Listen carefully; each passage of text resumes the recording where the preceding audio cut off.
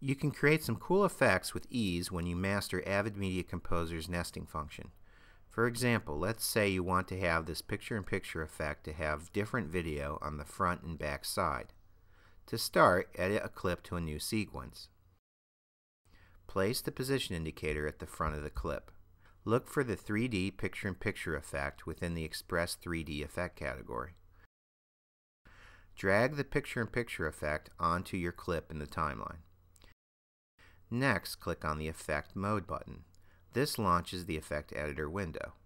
Click on this Y-axis rotation parameter. Move over to the Composer window and grab this handle to rotate your picture-in-picture -picture 180 degrees. Then move the position indicator to the last frame. Next, rotate the picture-in-picture -picture back to its original position. Place the position indicator in the center of the clip where the picture-in-picture -picture is on its edge. Turn on the red segment lift overwrite smart tool. Double-click on the effect icon within your clip. This opens a nest. Patch the V1 source track to the V1.2 track within the nest. Click on the Add Edit icon to split the nested content in half.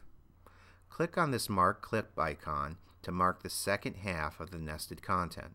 Find a new clip that you'd like to edit onto the back side of the picture-in-picture. -picture. Next, press this red overwrite icon. Okay, that's it. Back up and play the sequence. For other tips like this, or to enroll in a Media Composer training class, visit geniusdv.com.